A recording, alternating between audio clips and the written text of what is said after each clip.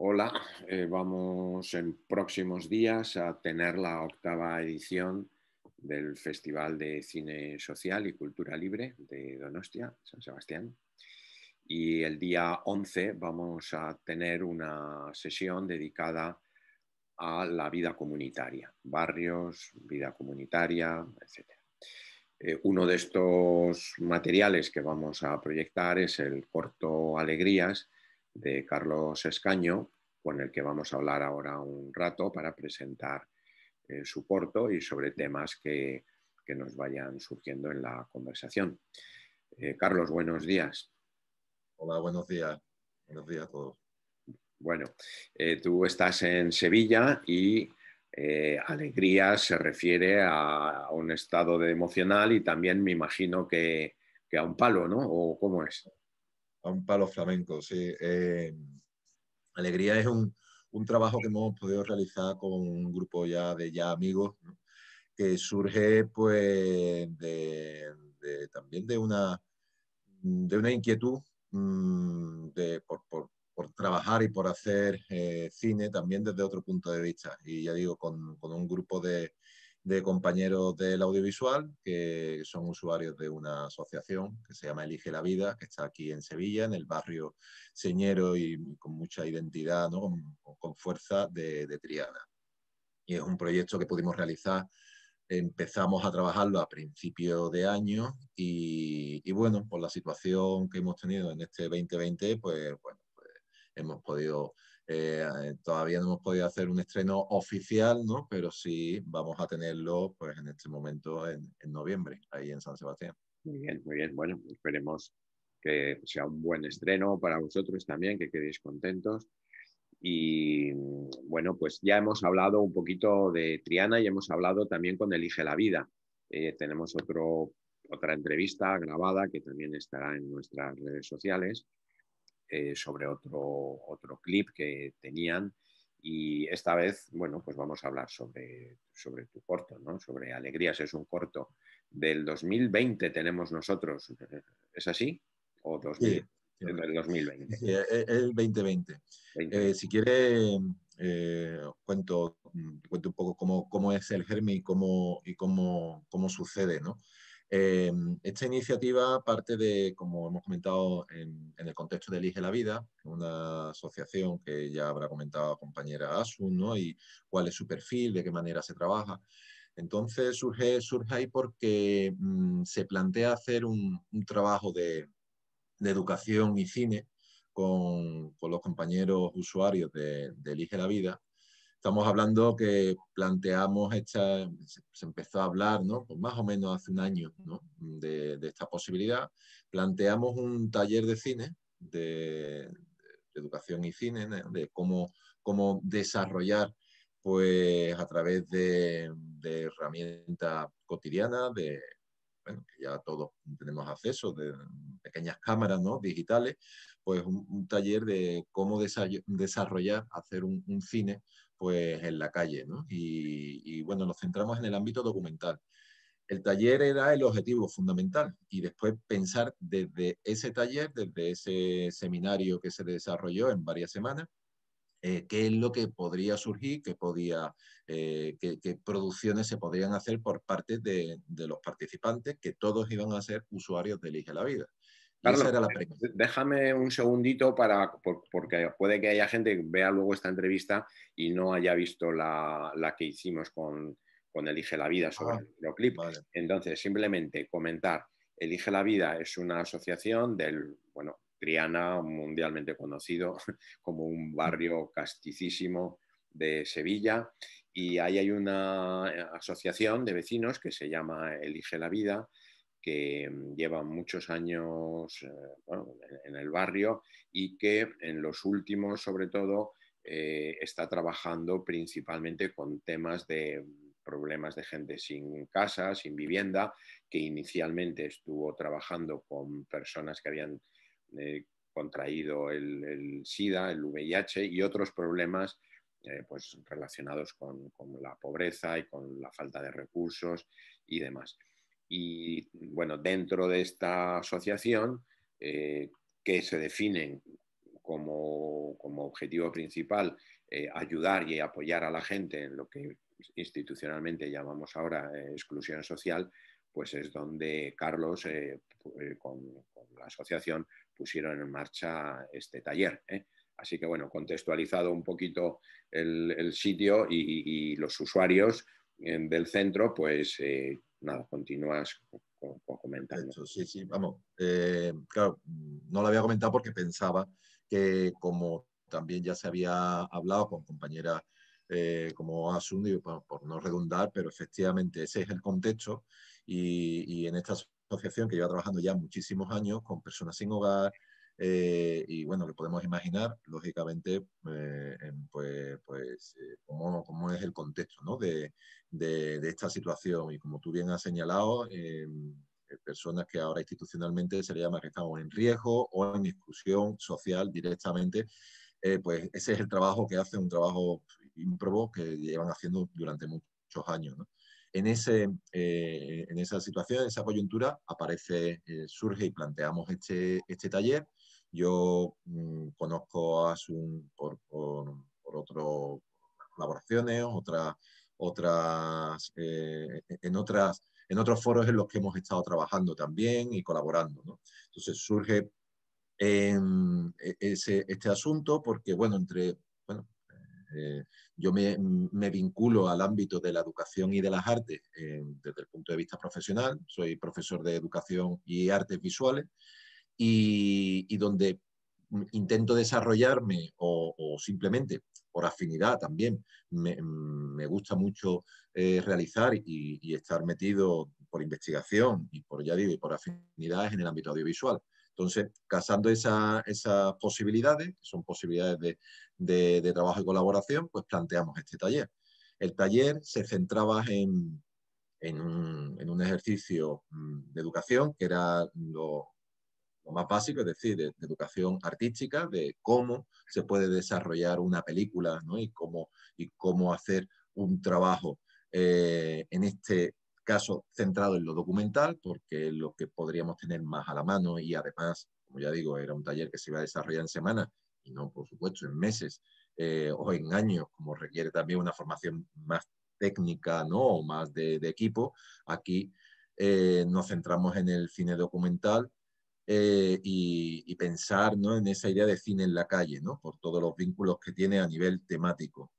Hicimos también esto en colaboración eh, con, con, el Centro de, Educación Permanente, uno que hay en Sevilla y en Triana, está justo al lado de la asociación, que nos cedieron sus, sus aulas y eso fue interesantísimo para el proyecto porque el ejercicio de inclusión se hacía desde desde el inicio, hablando no solamente del qué, sino también desde el cómo, ¿no? El, cómo nos relacionamos incluso eh, dentro de, los días que hicimos el taller, eh, también pudieron participar en algún momento dado alumnado propio de, del centro, ¿no? Llegaron a, estar compartiendo eh, pues, aula con los demás usuarios. Y también hay que señalar que el primer día, además, como, como parte de la inauguración, pues colaboramos con la propia Facultad de Ciencias de la Educación de la Universidad de Sevilla y eh, los participantes del taller pues, pudieron también eh, empezar este, este seminario pues, en la propia facultad y allí es donde, donde empezamos. Eh, todo esto añadía pues, ese, no ese plus, sino formaba parte de ese trabajo pedagógico que se pretendía, ¿no? de trabajo de, de inclusión social. Y ya centrándonos directamente en la temática, pues empezamos a trabajar, empezamos a eh, hablar pues, con, múltiples ejemplos audiovisuales, eh, también con una base dialógica ¿no? en, el, en el trabajo de, taller. Y de ahí surgieron pues, ideas, todo el trabajo que se ve en Alegrías, eh, pues parte de los usuarios. Las ideas surgieron en los grupos de trabajo que se organizaron y la realización, o sea, ellos tomaron sus cámaras, todos participamos, eh, desde el primero al último, yo incluido, los, los, monitores que también venían, pues también eh, colaboraron. lo más interesante, por supuesto, como en todo proyecto artístico y en todo proyecto audiovisual, siempre es el cómo, el proceso, ¿no? Y lo que aprendemos en ese proceso, ¿no? Y en este caso era fundamental. Entra, entra, un poco dentro de estas líneas de realización que tienen varios nombres como cine, cine participativo, cine popular, ¿no? Esto es, ha sido un poco como era, eh, cuadre, ¿no? Por supuesto, nosotros pensábamos siempre que, es importante que, pudiéramos tener un, oye, pues un producto o dos productos, lo que sea, ¿no? Pero lo más importante de todo era ese desarrollo que se contextualiza en ese tipo de acción pedagógica, ¿no? El que, lo importante, pero bueno, que al final eh, es lo que sucede también en cualquier eh, aula de educación formal o lo que tendría que suceder, que lo importante siempre en el aprendizaje y en la educación es siempre el proceso. Ahí es donde aprendemos, ahí es donde realmente sucede eh, los procesos educativos, no tanto en un resultado, no es tanto en una eh, em, evaluación finalista que estamos acostumbrados ¿no? desde el punto de vista educativo, institucional, a funcionar con los exámenes, el que lo importante son los puntos, lo importante es la productividad. ¿no? Pues, pues en este caso sucede, eh, sucede y es muy evidente que lo que es más importante ha sido toda las ramificaciones, todas las relaciones que se dan en ese tipo de procesos colaborativos porque en definitiva la educación, igual que la cultura, sucede en colectivo, sucede en colaboración, si no, no nunca emergería. ¿no? Ah, no, no, perdona, no, sí, sí. No, decíamos que nosotros intentamos visualizar o poner en valor eso. Y que después teníamos un producto interesante, estupendo, también es importante. Viniendo de donde vengo, que es la educación en las artes, eh, siempre digo que eh, esta cuestión no podemos soslayarla tampoco, es importante porque forma parte del proceso de educación, como parte del proceso, el tener un producto que pueda continuar con, ese trabajo que ahora viene el campo, o sea, el momento de la exhibición, en el que también la persona que ha participado se tiene que sentir reconocida, Y es importante también, bueno, pues intentar que tenga una factura, pues, eh, con, cierta calidad y que el, que el participante se sienta eso, pues reconocido.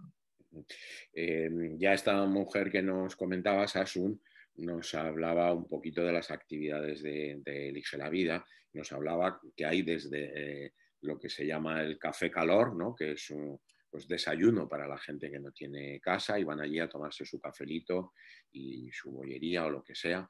Y desde ahí hasta eh, este curso que, o este taller que se, se, realiza además en las instalaciones de, una universidad o de un centro pedagógico. Entonces ya esto en sí mismo, claro, supone para unas personas en exclusión social la, oportunidad de volver a, entrar en un tejido y en un entramado social, institucional. Mm, no sé quiénes serían los participantes en, el corto, pero si eran personas que no tenían casa, pues de repente acceden a unas aulas de un centro pedagógico, universitario. Bueno, a mí esto me parece de un, valor humano tremendo, ¿no? Y de reconstitución de, la dignidad en parte que muchas personas ven que, van perdiendo en esto. Y luego como las dinámicas de exclusión social también en muchos casos llevan al aislamiento, ¿no? Y bueno, al vivir en la calle a veces te lleva a, unas situaciones de, prevención, de desconfianza, de aislamiento. Entonces, claro, el hecho de trabajar colaborativamente con otros compañeros y ayudados por vosotros me parece una labor, bueno, de resaltar, ¿no? O sea, una labor enorme, ¿no? El, trabajo que se realiza en Elige la Vida es encomiable, o sea, es un valor... Eh, eh, vamos, hay que destacarlo y, el poder participar y poder yo colaborar con ellos, eh, para, mí, para mí ha sido un plus y, la verdad que lo más interesante eh, de lo que estabas comentando es que ha sido precisamente esa visión que tanto en Elige la Vida como en el taller también se, ha pretendido, es esa visión mm, precisamente del campo educativo que, se denomina ¿no? no bancaria. Es decir, que estamos hablando de unos procesos mm, eh, educativos que van más allá de lo instrumental, que van más allá de, pensar en que en la educación hay una jerarquía, una arriba y abajo, es decir, el profesor está arriba y el alumnado abajo, y por lo tanto nada más que transmitir una serie de, conocimientos. Eh, decía que tanto el taller como la, forma que tiene Elige la Vida de, de, trabajar es no bancaria. Pablo Freire hablaba ¿no? precisamente eh, como pedagogo crítico, ¿no? De que no entendamos al alumnado como, como ese cuenco vacío en el que hacer depósitos de conocimiento, sino en, plantear una horizontalidad a la hora de, de, entender que la construcción del conocimiento, y en este caso no estamos hablando solamente de pedagogía, o bueno, estamos hablando de pedagogía y, eso es mucho más amplio, es decir, que, que, no solamente es construcción de conocimiento, sino construcción de sociedad. Y así es como funciona, y yo creo que es muy evidente cómo funciona Elige la Vida eh, en esos, o sea, nada más que hay que ver cómo, cómo funcionan en sus actividades para ver que precisamente esa idea de construcción social la llevan entre todos. No se trata de, de una visión paternalista, de estar arriba y que ellos echan eh, un cable en un momento dado por, por, cierta caridad, ¿no? No, no, no se trata de eso, se trata de construir precisamente colaborativamente, porque es que si no, eh, es algo, claro, que cuando uno lo piensa, me lo llevo de nuevo a la educación, claro, es que así es como construimos, en teoría se construye la educación. Eh, yo, no, yo no puedo eh, simplemente tratar una, un alumno de, de, universidad como una persona a la que yo le voy a transmitir una idea o unos conocimientos que yo exclusivamente tengo. No es así. O sea, volvemos a lo que comentábamos antes de, de la cultura ¿no? y de la educación. Es que la cultura y la educación, y el conocimiento necesariamente tiene que estar construido entre todos, si no, no existe. Pues en esto yo creo que dentro de, o sea, con toda humildad hemos podido participar de esa idea y en el taller era un poco lo que se pretendía, ¿no? Desde la base. No es que descuidáramos el producto, ni mucho menos, sino que la idea teníamos clara que tenía que ser esa. Tenía que ser, venga, vamos a trabajar, porque en definitiva no estoy inventando nada. Ya digo, así es como se trabaja en Elige la Vida y porque así es como creemos que hay que intentar construir pues, sociedad. O sea, no, y ellas, estas personas, se veían, pues claro, integradas, pero como nos vemos integrados todos, o sea, que no es una cuestión, sino es, es pues, absoluta normalización de los, eh, de, de, los participantes, o sea, de, los procesos en un, en un, lugar donde participan personas, ¿no? Eh, claro, alguien que va a la universidad, pues en un momento dado, pero cualquier persona, siempre, pues claro, eh, los que estamos dentro del ámbito profesional universitario, pues lo vivimos con cotidianidad, pero entiendo, cualquier persona, ya digo, tengo colegas, amigos que cuando van que no tienen nada que ver con la universidad y cuando a lo mejor ponen un pie en la universidad siempre sienten pues esa, esa sensación de respeto, de decir, uy, esto, ¿no? esto es la universidad. Bueno, pues claro, eh, esto sucede con cualquier tipo de persona. Entonces, si uno llega a la universidad y ve con absoluta normalidad, pues personas que, imaginemos lo difícil que es la, vida ¿no? para, todas ellas. ¿no? Pues encontrarse en una situación de normalización es, pues, una, eh, ya no solamente es algo que, hay que, agradecer eh, a, Elige la Vida, ¿no? que potencia hecho, sino que absoluta normalidad. Y eso es muy, muy interesante. Para mí es algo que, que, de lo que más me llama la atención y que es muy interesante y que hay que seguir trabajando en esa línea. ¿no?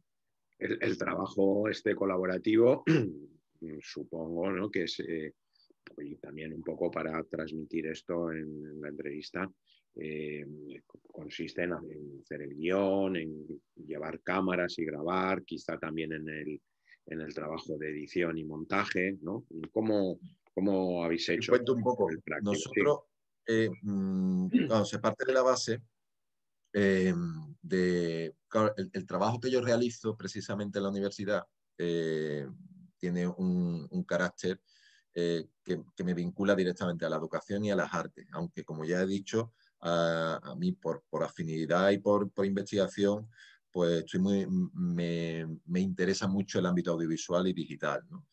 Entonces, yo previamente, claro, la experiencia que tengo de trabajo con mi alumnado de la educación formal se centra mucho en, una vinculación muy íntima entre teoría y práctica. No hay una diferenciación de ahora hablamos teoría y ahora hacemos práctica, sino que continuamente estamos trabajando pues a partir, o intentamos trabajando a partir del diálogo, a partir del trabajo eh, en colaboración, donde la práctica eh, y la teoría están totalmente unidas.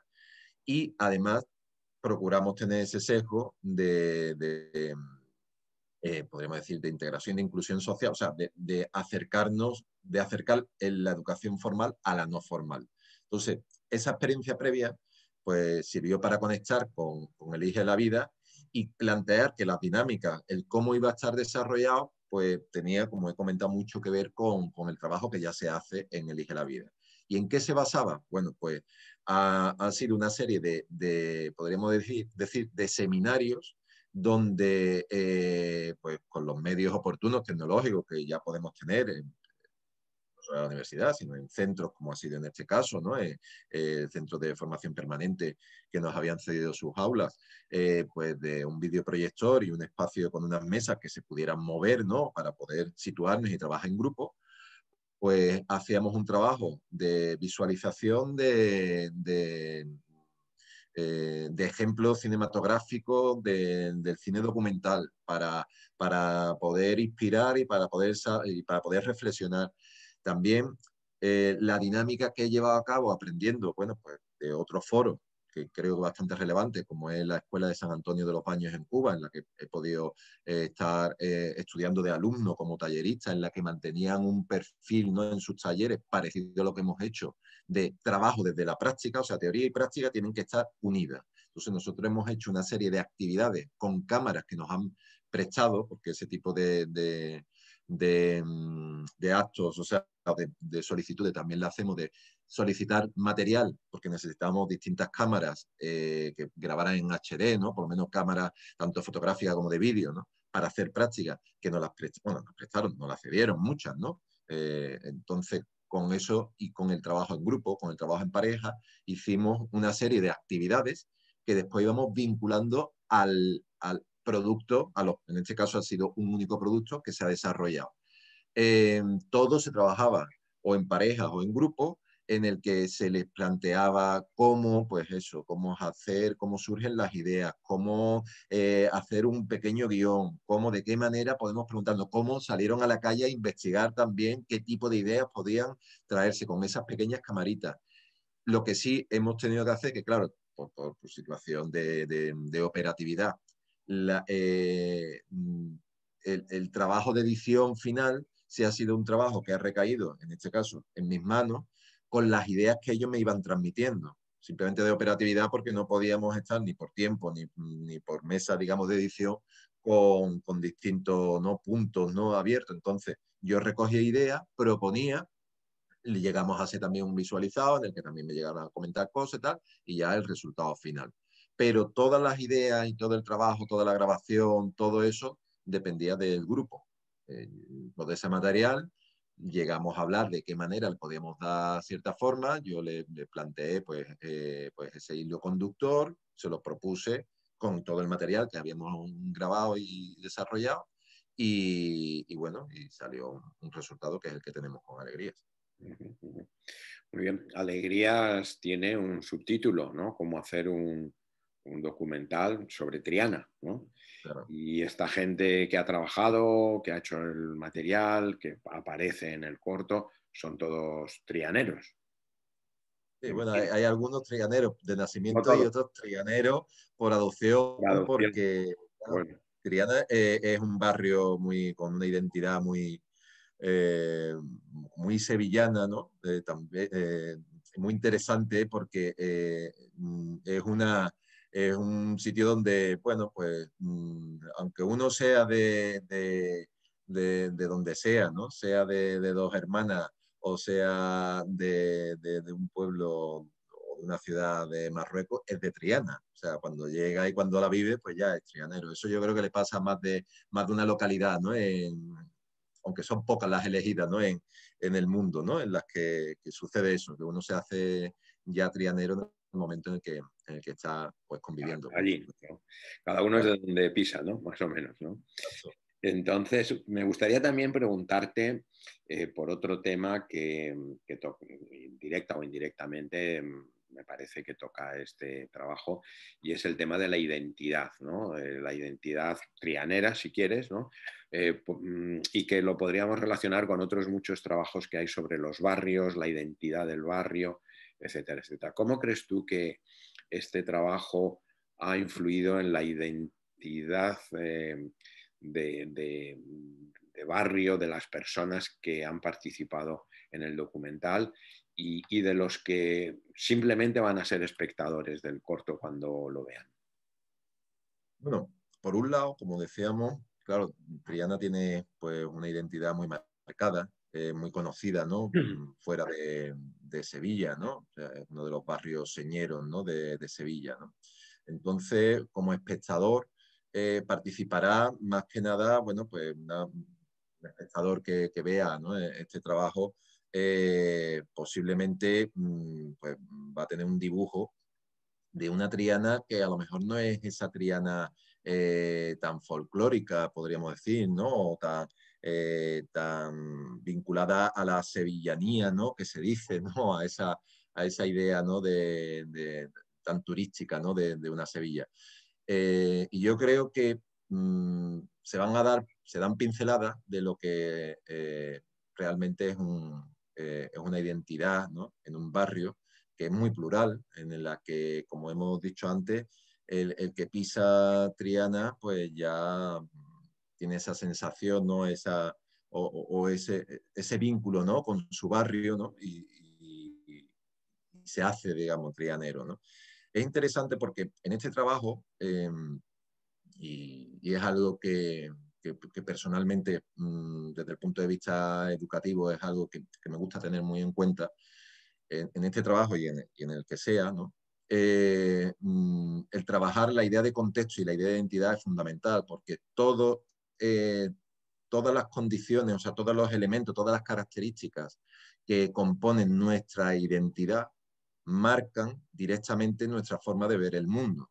Entonces, el analizar, el tomar conciencia de cuáles son esos condicionantes sociales, culturales, eh, físicos incluso, ¿no? Lógicamente, nos van a condicionar Mm, íntimamente incluso a, determinar nuestra forma de entender eh, a, nuestros vecinos y, nuestra sociedad. Entonces, esa idea de, bueno, vamos a tomar conciencia de lo que está sucediendo a nuestro alrededor, no tanto, que por supuesto también hay que hacerlo ¿no? en un ámbito eh, más internacional o más nacional, también hay que estar informado, lógicamente, sino qué es lo que le sucede a mi vecino, qué le sucede a, mi, a, mi, compañero eh, de trabajo que está en mi barrio o qué le sucede a mi amigo que está. Claro, el tomar conciencia de eso, eh, yo creo que se tenía claro en el taller el que, bueno, nosotros tenemos que hablar desde nuestro punto de vista y de nuestro alrededor más inmediato, para precisamente que se tome conciencia no solamente como sujeto que lleva una cámara, sino también, eh, bueno, porque pues se incida mínimamente eh, eh, en ese barrio y que el barrio también vea que era un poco lo que comentaba antes de lo importante que es terminar un producto y ahora exhibirlo, porque nuestra intención, lógicamente, es que en el barrio, pues en la medida en la que podamos, pues tenga su mínimo impacto y que se vea lo que se hace desde una asociación que está en el propio barrio y que habla desde el barrio y para el barrio. Eso es fundamental. Debido a la situación pandémica, esto se nos ha cortado de tal forma que ahora es cuando vamos a poder empezar a hacer, si se puede, pues ese tipo de acción, porque es fundamental, fundamental para esto, ¿no? Que hemos comentado, el trabajo de identidad inmediatamente surge desde, desde eso, desde los núcleos más cercanos, ¿no? Y más, y más, más, a una persona, ¿no? y, eso desde el principio lo teníamos, lo teníamos asumido, que había que, hablar desde, desde, un punto de vista de un contexto muy claro, que en este caso, pues bueno, pues era Triana, que además tiene ese plus, pues oye, que, se, le va, se le va a tener un reconocimiento fuera eh, y va a ser más reconocida, ¿no? Eso, ¿no? Fuera de, del barrio. Claro, y una Triana que no es tan conocida, ¿no? Como, claro, claro. El, ver esa, lo que me comentaba el espectador de fuera va a ver, bueno, pues claro, no es, una triana, aunque es un trabajo corto, son 10 minutos, ¿no? Prácticamente, en el que va a haber una, triana, pues claro, eh, mestiza, plural, eh, donde los participantes de Elige la Vida, que son representantes también de los que, te encuentras por la calle, que claro, que, mezcla, que, se mezcla esa, esa triana, pues cercana a a, tradiciones, ¿no? bueno, al cante, a, la artesanía, ¿no? Pero de quien está hablando de eso son personas que, están de paso, que son personas migrantes, pero que, mm, bueno, pues eso, que son trianeros, ¿no? Eh, y, tú dices, bueno, claro, pero es que así, así en, definitiva es como es la realidad y es como, convivimos en la realidad con la diferencia, con, la diversidad y, todas aquellas visiones eh, pues más reduccionistas pues lo que hacen es tender a la exclusión, una visión reduccionista, pero vamos, que no solamente sucede en Triana, lógicamente, ni en este caso, sino que esto es un ejemplo de lo que sucede en un país o de lo que sucede a nivel internacional. Bueno, pues eh, creo que está muy claro y que mm, este trabajo se puede ver con ojos de profundidad más allá de las imágenes ¿no? y, acceder a estas realidades también que nos estás eh, planteando y que bueno, pueden no quedar explícitas, pero que están en el, en el, en el, tapiz, digamos, donde se hace toda esta, todo este trabajo audiovisual, ¿no? todas estas factores de lo que es un barrio, de lo que es la gente, de lo que es la trans, no sé si se dice, bueno, el ser transeúnte, no sé cuál es, ¿no? y, el, ser, eh, el ser de nacimiento, bueno, lo que hacen los lugares, las gentes y demás. Bueno, invitamos a ver este trabajo con una mente muy abierta y, a descubrir eh, nuevas visiones.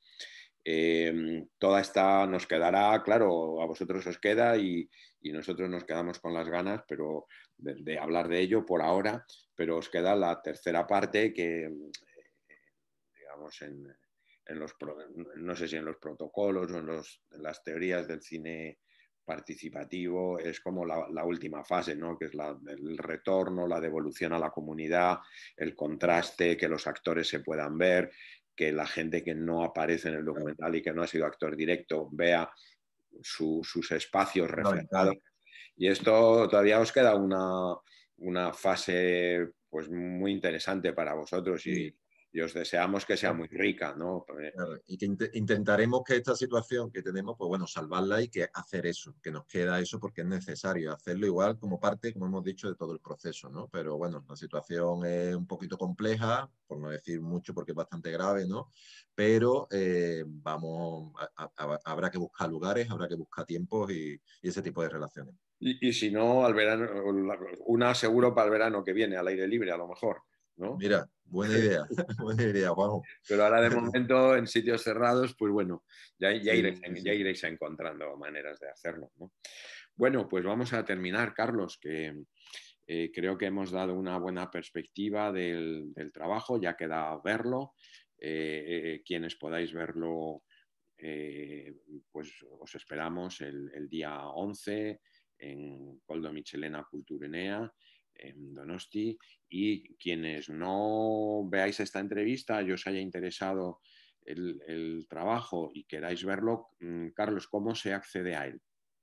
Pues en breve vamos a, ya tenerlo dispuesto eh, pues en abierto. Eh, prácticamente queda poquito tiempo y cuando ya lo tengamos abierto, desde la propia página de, de la asociación Elige la Vida estará el enlace eh, y se anunciará, pues bueno, pues ya se podrá ver y, eso, pues ya digo, será en breve, en cuanto lo decidamos, cuando terminemos también esta presentación y que pueda acceder ya todo el mundo. Vale, vale, vale. Eh, nosotros ahora tenemos solamente el tráiler en, nuestra página web, en la programación, porque queremos que la gente venga, venga al cine, pero una vez que pasa la proyección, pues añadimos los links de las películas. Así que cuando lo tengáis, aparte de que esté en la página web de eligelavida.org, eh, pues nos lo pasáis y lo, si, tiene, si tiene otro lugar, ¿no? pues nosotros lo añadiremos a la, programación. Y bueno, eh, si a alguien le ha interesado el cine, llamémoslo de participación, cine popular, cine, cine eh, bueno, se llama Construido Social, en fin, bueno, tiene muchos nombres. Pues bueno, Carlos Escaño está en Sevilla. ¿Y dónde se te localiza, Carlos? Pues mira, en la Facultad de Ciencias de la Educación, ahí me vais a ver. Eh, y, bueno, y ahora trabajando mucho online, porque con la situación en la que estamos, pero en la Facultad de Ciencias de la Educación de la Universidad de Sevilla es donde tengo mi, centro de trabajo y es fácil eh, localizarme. ¿no? Vale, vale. Nosotros nos hacemos también mediadores del contacto si hace falta, o sea que si alguien quiere contactar con Carlos o pues si, no le localiza, pues a través de... Sí, pero vamos, que, uno entrando en la, propia página de la Universidad de Sevilla aparece un de contacto para, para encontrarme.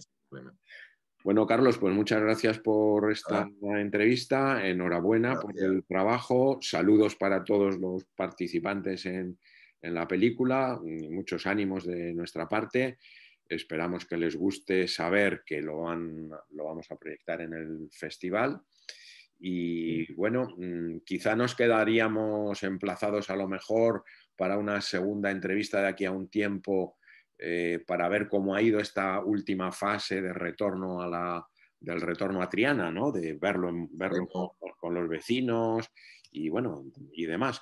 Veremos, ¿no? Nos mantenemos en contacto y veremos. Estaremos en contacto. Muy bien. Pues muchas gracias, Juanjo, y, saludos a todos. Muchísimas gracias de parte de todos, del equipo y, por supuesto, un fuerte abrazo. Muy bien, un abrazo. Hasta pronto.